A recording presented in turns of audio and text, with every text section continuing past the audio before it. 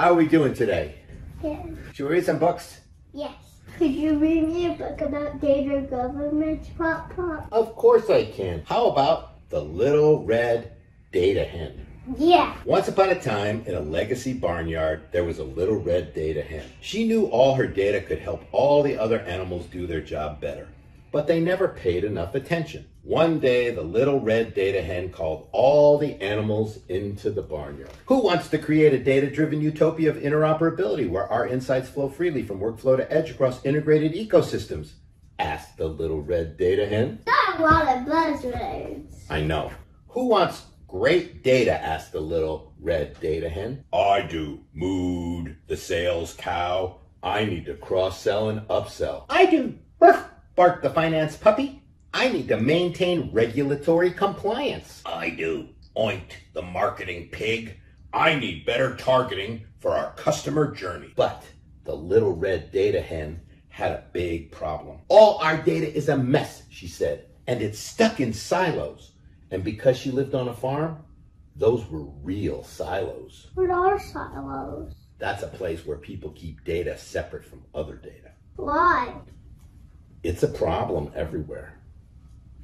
So they don't get mixed up? Yeah, so they don't get mixed up. I'm seeking stakeholder engagement, said the little red hen. Who will help me collect and catalog the data, she asked. Not I, mooed the sales cow. I need to focus on revenue. Not I, barked the finance puppy. I don't see the immediate ROI. Not I, oinked the marketing pig.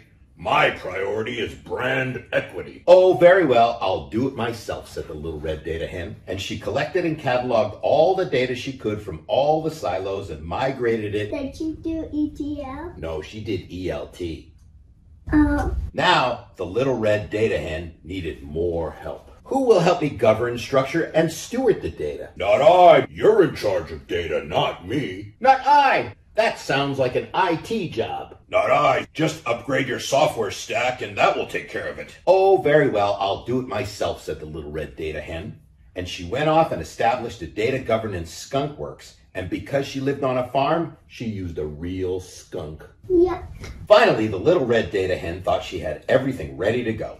She had taken the data from the silos, she cataloged, governed, structured, and stewarded the data in a hybrid cloud data lake behind the barn. She could use a data mesh. You're right. Who will help me leverage all our trusted data? asked the little red hen. I will. Now I have customer 360. I will. Now all our numbers tie out. I will. Now we can reduce customer churn. Finally, the whole barnyard can have consistent KPIs. They all mooed and barked and oinked. The little red hen was so happy and excited. Unfortunately, it was too late. By that point, the legacy barnyard was disrupted by a data science based farming startup that used predictive analytics to provide an innovative crop as a service offering. What's that?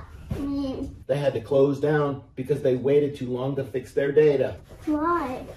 They just couldn't get the stakeholder engagement.